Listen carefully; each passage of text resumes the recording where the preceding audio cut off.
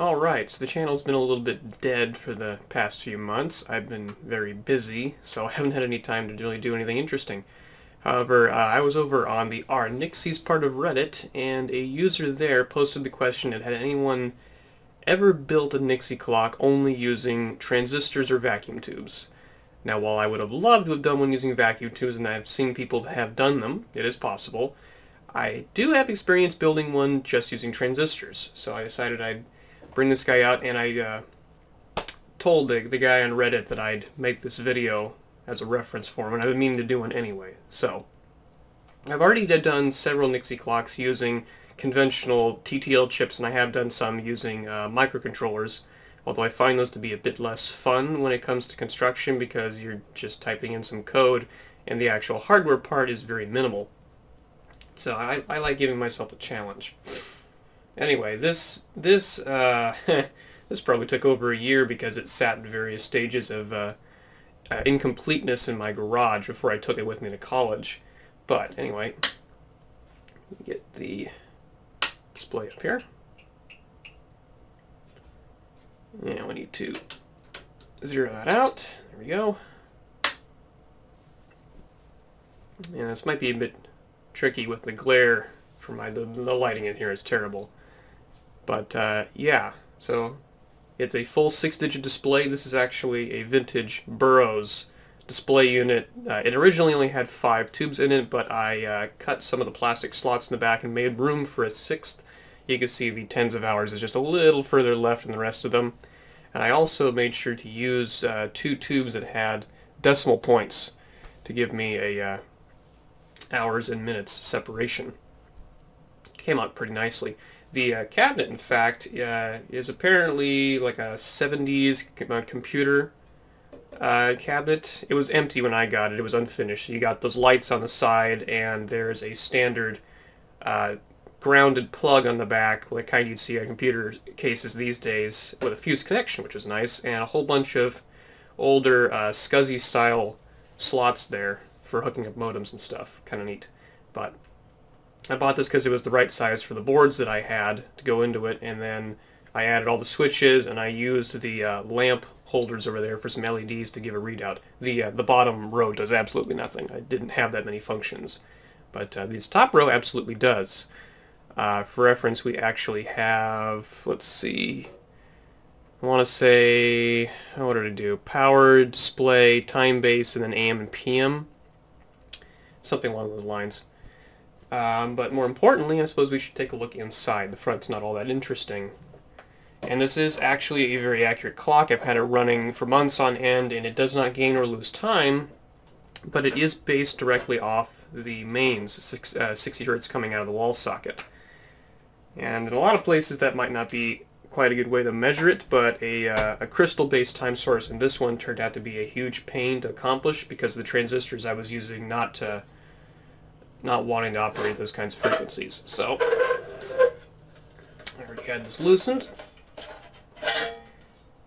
And any good project requires a good amount of LEDs, so I made sure to put one on almost every important stage because during the testing phase of this thing, it was a necessity to know exactly what was and was not working. Now for now, we're going to ignore this board up here that's got the chase light sequence going because that was actually a later addition. The uh, important thing is the upper board here, and there is also a matching board identical to it underneath that.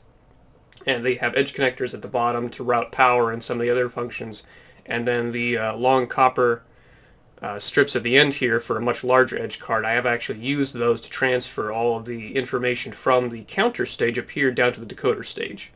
And then the power supply assembly is over on the left. Um, as far as the power supply goes, I've got a transformer here with multiple taps, uh, I think 16, 25, and 9. I used the 9 volt tap, rectified that to get uh, the 5 volt. I've got a 5 volt uh, regulated power supply for all of the main logic.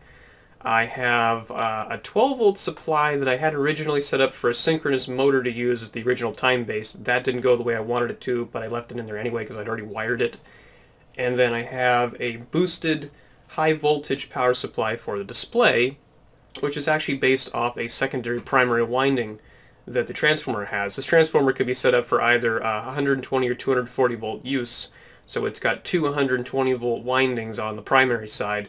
And if you uh, tie them in series, you get 240, but for normal operation, you're supposed to tie them in parallel. But I just undid that connection, and uh, if you apply 120 to one set of windings, you get 120 at the other set. Not as much current, obviously, but uh, it works extremely well for providing a uh, high voltage source because then I can just route that through a very simple voltage doubler, so, uh, a few diodes and a capacitor. I've got the schematics, so I'll, I'll show that in a second. So, I'm going to flip this around without touching anything important because yes, there are dangerous voltages in here. Okay, that's probably a better view.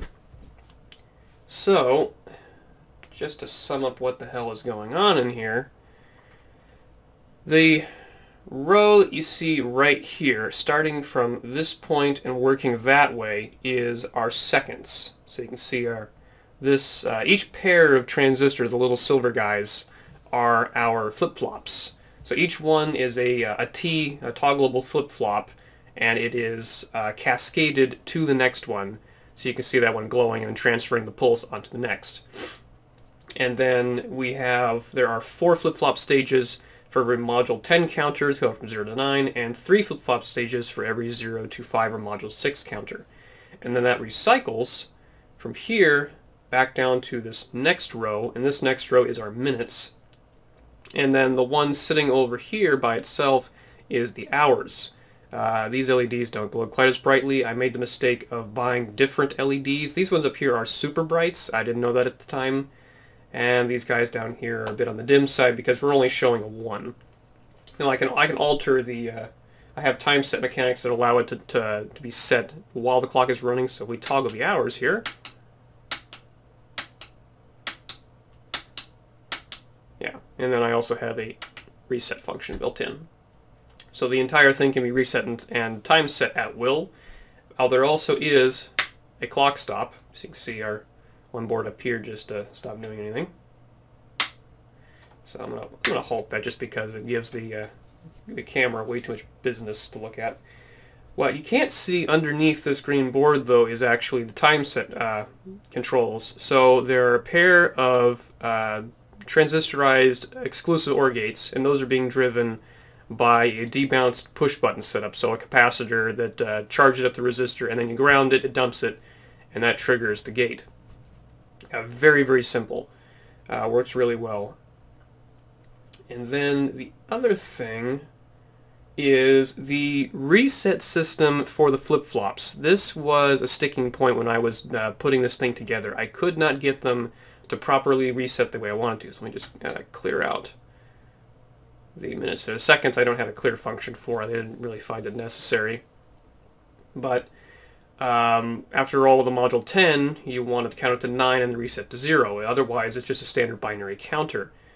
So my solution to that, after a lot of trial and error, was just to use a relay. So each stage can be pulled, uh, basically one, one of the legs of the, the flip-flops is, is pulled down so that it goes back to 0.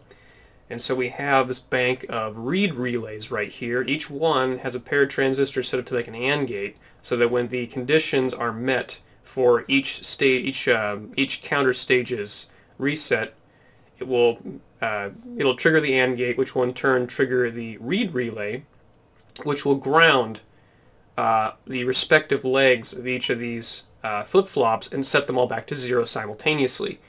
Now I went with a relay because it was a direct connection and I tried using transistors, I tried using MOSFETs, I tried using opto-isolators and none of that worked. I always wound up with race conditions. One of these stupid things would always remain active. Um, and the real trick with this was even the relays didn't want to work properly at first. There was uh, they weren't being held on long enough. As soon as the conditions were met, the next pulse would always uh, result in the very first counter stage being left on. So to uh, fix that, I actually added a 1 microfarad uh, capacitor to each stage along uh, over the uh, relay coil so that when it does actually energize, even after all the other ones that are holding the AND gate on have turned off, you still get it holding on just long enough so that if a pulse comes in during that time, the first stage remains grounded and shut off. So just a bit of an insurance policy. And that works great. Uh, you can, in fact, when it's running, you can hear it You can occasionally hear the relays click in the background. They're very light. And unfortunately, I can't really show you the decoder board. So each of these counter stages obviously uh, produces a binary output, specifically a binary, a binary coded decimal output.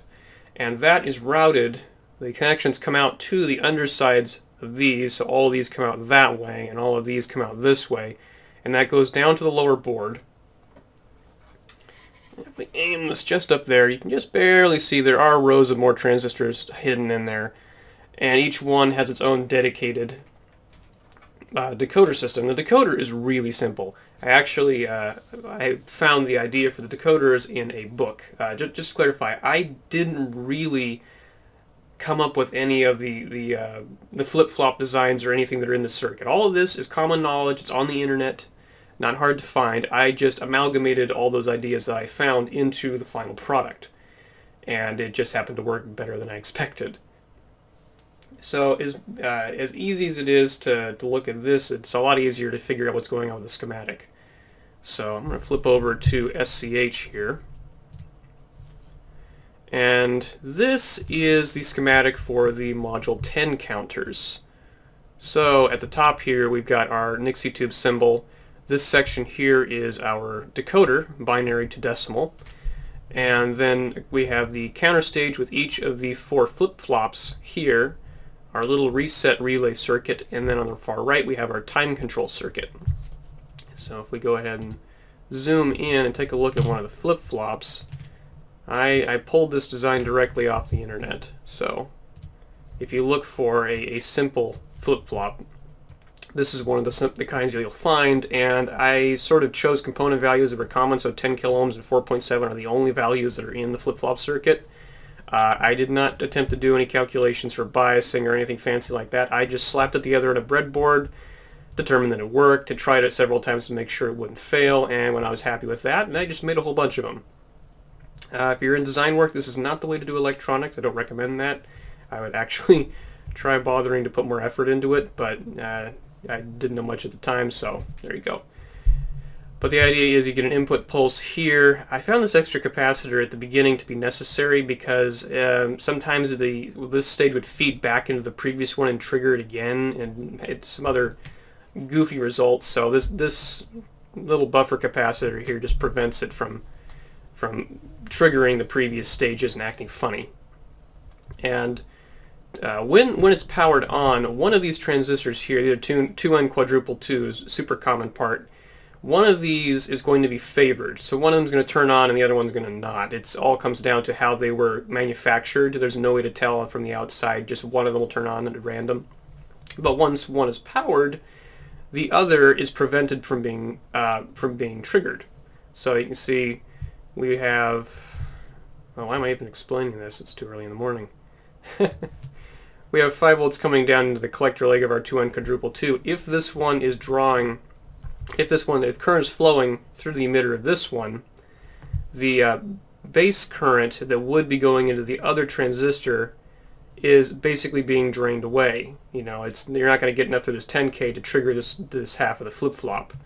However, if we apply a pulse, and this is where things get a little bit fuzzy, from what I can tell, one of these diodes is uh, effectively, somehow it's going to trigger the opposite flip-flop. Once that one kicks in, this one becomes favored, the base supply to the other side gets cut off, and it changes states.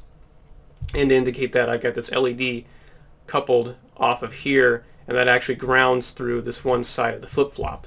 You can see I've got this label, we have our A output and our A bar output. And those then pass up into the decoder scheme, either way.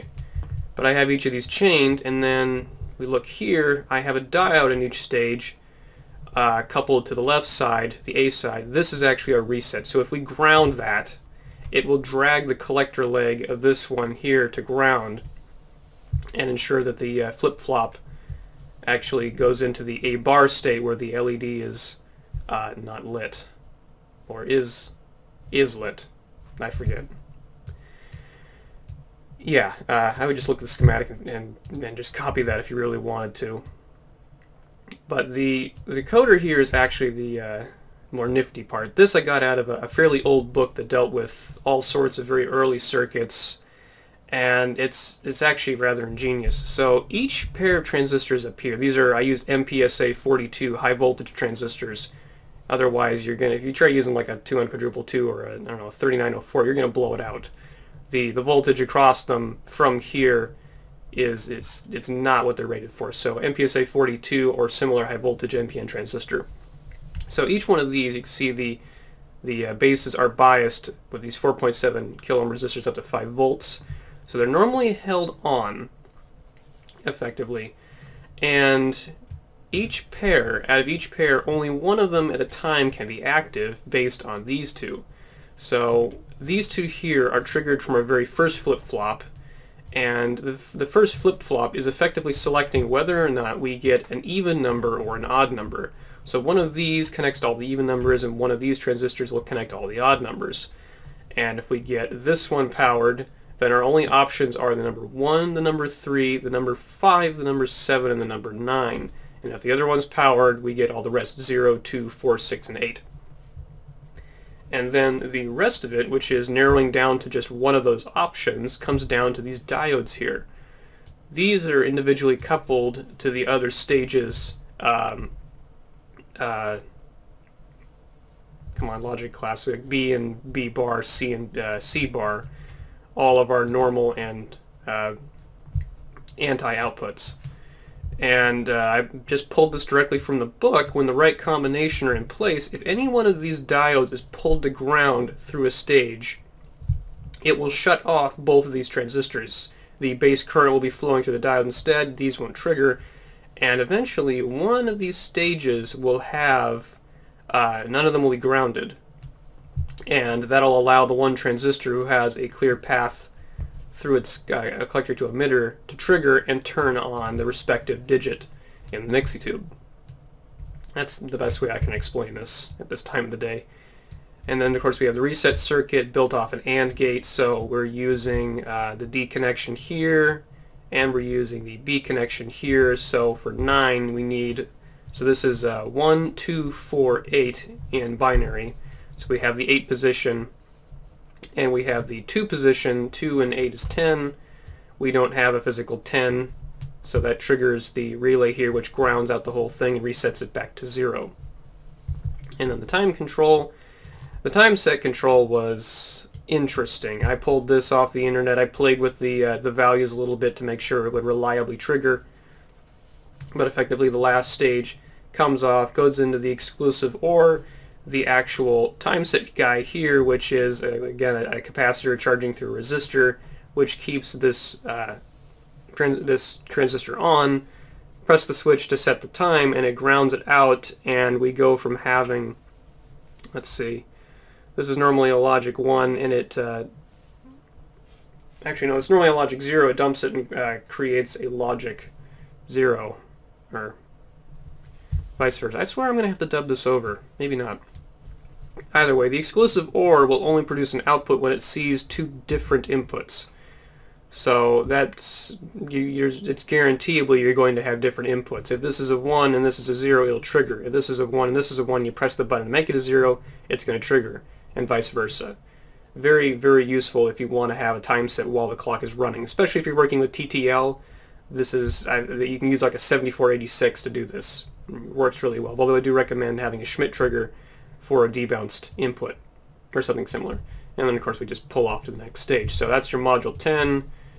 Alright, so this is the module 6. This is for, you know, like the tens of minutes, the tens of seconds, uh, except for the tens of hours.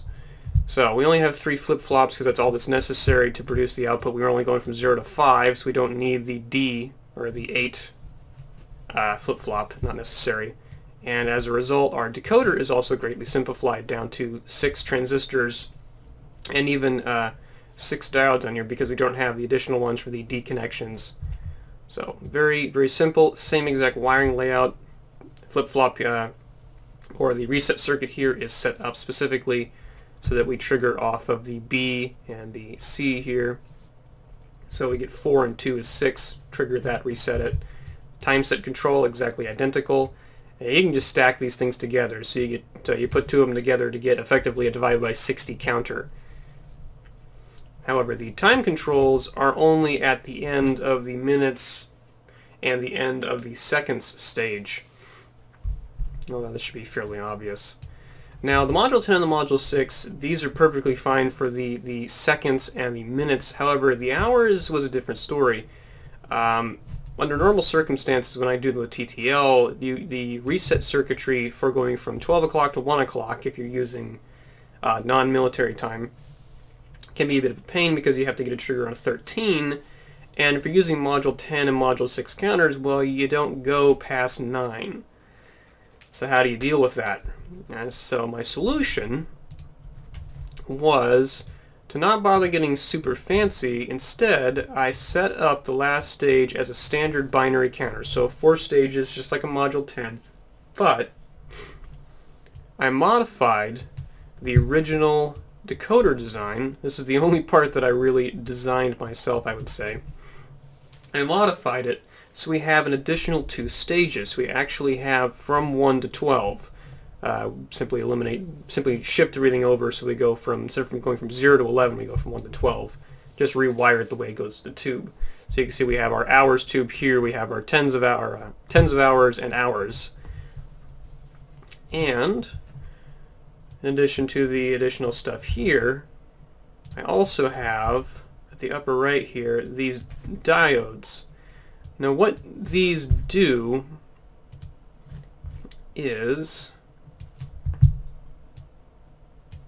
when we get a specific number triggered, so like we have 0 here, when this one is powered on, this also triggers this transistor here, and that triggers this relay. Again, this is more complicated than it needed to be, but this is just how it worked out to be. And it, essentially, anytime we have a 1, so in the case of our clock, that's going to be 10 o'clock, 11 o'clock, and 12 o'clock, anytime we have one of those conditions, this final transistor here, so we have 10, 11, and 12, each of these three stages is coupled to a pair of diodes. One of those will trigger the uh, 0, one of these will trigger the 1, and one of these will trigger the 2 in the hours digit, but they will also power on this relay, which will switch the tens of hour digit from going from 0 to 1. So we'll get 11, sorry, we'll get 10, 11, and 12. And then it'll reset back to 1, the hours relay turns off and goes back from 1 to 0. Uh, originally I just tried tying uh, that straight to each of these diodes and it worked for the first two stages. The last one just wouldn't do it. I could not figure out why the hell it wouldn't. It was just being obstinate, so I said to hell with that. Put in a transistor in a relay, bam, worked fine. But this, this right here is really what made it a snap. Instead of having to do two separate counters and a whole bunch of associated logic, I was able to just build one large standard counter from four flip-flops and then just extend the standard decoder design. And I used to have a piece of paper where I actually worked out the logic for all of this, and looking at it now, I have no idea what the hell I was doing. Uh, must have been a brief moment of genius or something. And then, of course, we have our relay uh, reset circuit here, just like all the rest of the designs, set up so that when we hit the magical number of well, actually, I can't remember if I have it set up for 12 or 13. It should be for 13. Let's see. We've got it coming off of the C connection here, and we've got it coming off of the D connection. So we've got it coming off of 8 and 4, which is, well, 12. So, yeah. Wait, really? Is that how I set it up? 1, 2, 4, 8? I guess I did set it up for 12. Hmm. Yeah, yeah, your mileage may vary. I'm just saying this is how I did it. I know this is how it works. And it does work. And I do technically have some schematics of the power supply, but I never got around to finishing them. I kind of finished the clock before I finished the schematic. I already had it worked done on paper.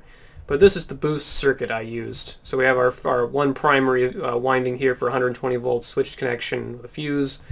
Then we have the secondary primary disconnected by itself which goes through a voltage doubler with some 8 microfarad capacitors. These have to be rated at at least 450. I would recommend 500 just to be safe, because our unloaded output voltage was 312 volts. There are then of course figured out uh, the current value for each of the tubes, like don't know, two and a half milliamps I think is standard, and then found the appropriate anode resistor to go with that. And then of course, like I said, there are no uh, no chips or ICs or anything in here. So when it came to voltage regulators, I did the same. This is a simple series pass regulator circuit. You have a, a Zener diode here, a resistor to get the correct operating current through that, and then uh, 2N3055. These are actually mounted on the back of the case for proper heat dissipation, and this biases that to about 5 volts after the drop through the uh, from the collector through the base or base emitter voltage sorry so that actually worked out well. These other windings I wound up being for different things. I had one of them powering the synchronous motor, which had its own regulatable and adjustable regulatable supply. That kind of got ditched. It's in there, but I don't use it. There was one of these supplies was being used for the display, which is actually something I don't have a schematic from, but uh, as you can see, as you saw from the intro, these, this display is a, a, sequential activation. So each, each anode of each Nixie is actually operated through relay contacts, and a capacitor on each relay, or near each relay, charges up, uh, triggers a triggers a transistor which turns that relay on. That relay then powers the next stage which turns on in sequence and then on and on. And when you shut it off, it disengages in the opposite direction which is just a neat little feature I wanted to add. And then one of these 16s I actually wound up using for the time base. Uh, like I said, originally I had a synchronous motor system planned that failed, but I didn't have a use for this extra winding and I just sort of capped it off. And that is why I have an additional board slapped on top of, let me back out here, that's actually why I have an additional board slapped on top of the design here. So this is actually the time base. So we have these wire connections coming in here. This is actually off of our transformer. And it's difficult to see from this angle. Let me try rotating this thing around. It's a little bit better there. So we have our AC input right here. Uh, I have a power supply connection for the board here. And then we have flip-flop stages identical to these here, here, here, here, here, and here. But then this nonsense down here is actually something a little bit different. My original design for this was just to have a, uh, a divide by 60. So that's that's what I did.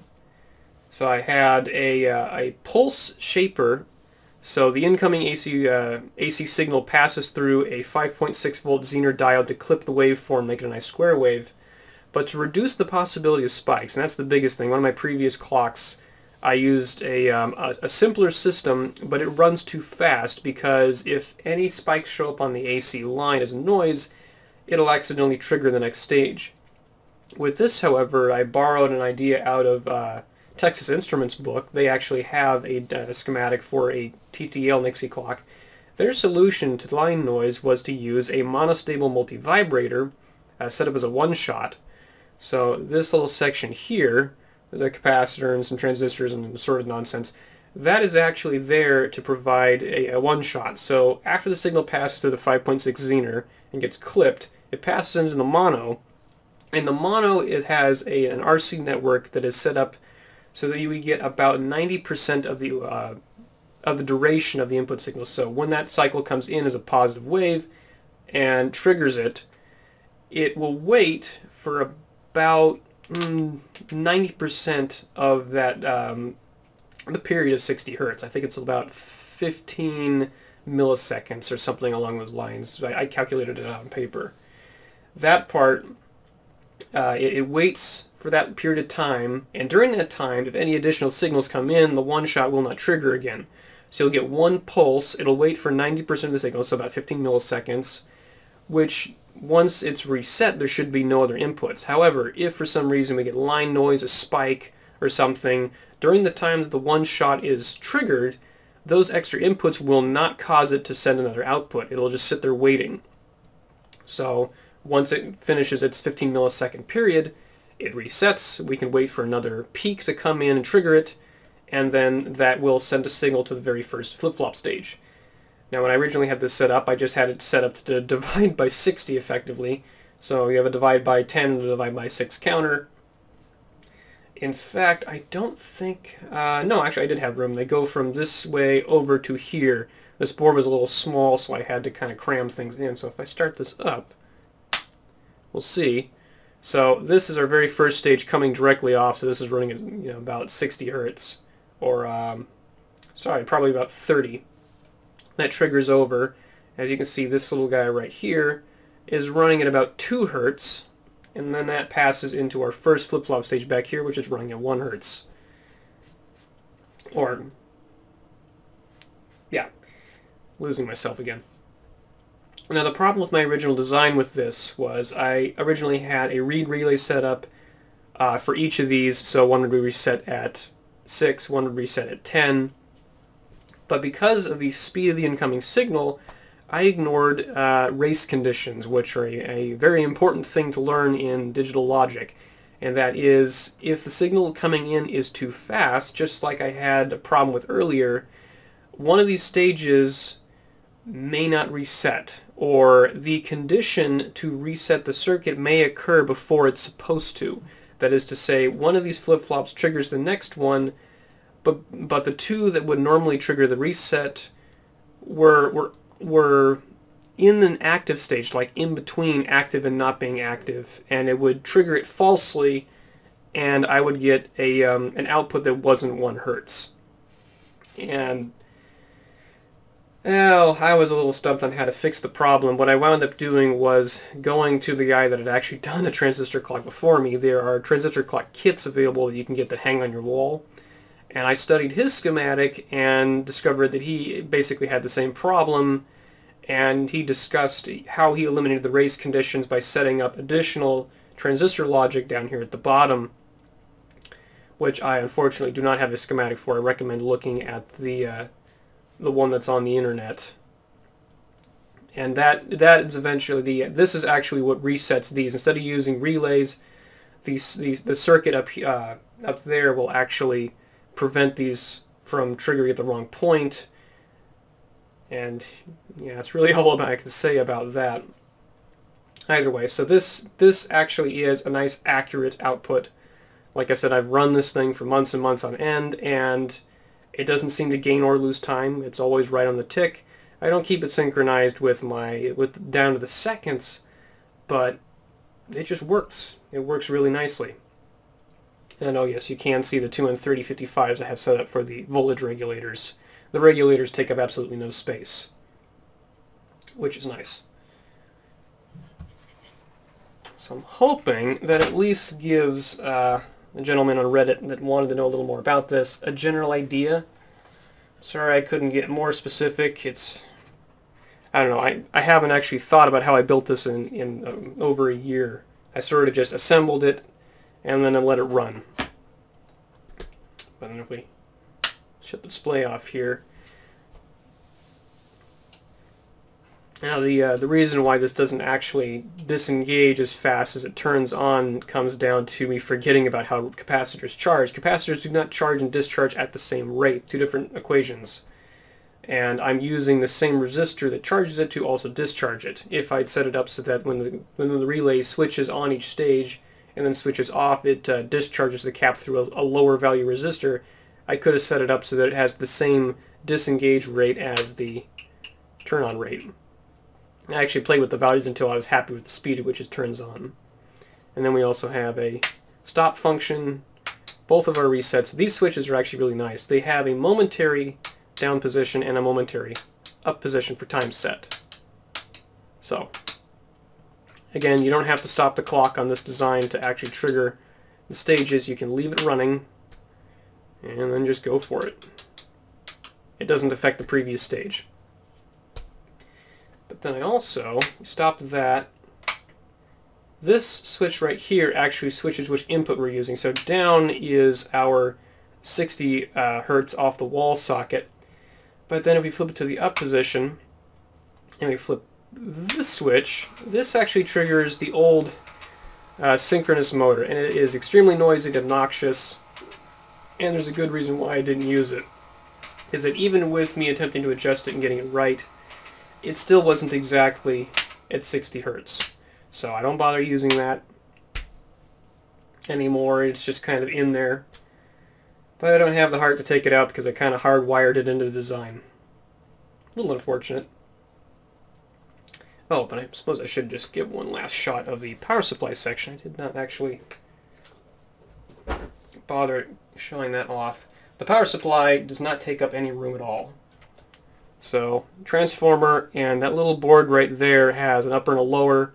The lower section is the boost circuit. The upper section is uh, the adjustable regulator for the motor, which has its own 2N3055. So our reference and our adjustment are on there. We have a fairly decent sized capacitor on there for uh, removing the ripple for the 5 volt section and for the 12 volt section.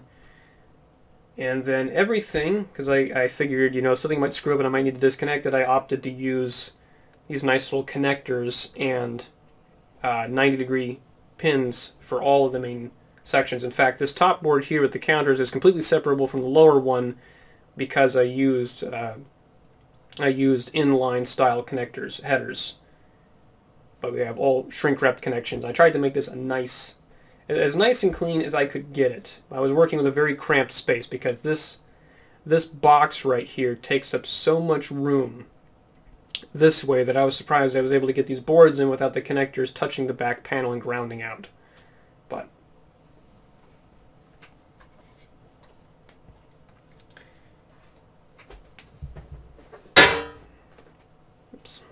Yeah, no. This is probably one of the more rewarding clock builds that I've done. The TTL ones are rewarding in a sense, but this is the time that I really tried to tried to make something kind of unique. And I hope I didn't bore you to death with the description and my constant mumbling, so thank you for watching, and I hope this gives you a, a little idea that it's not impossible to do these sorts of things. It's just time consuming.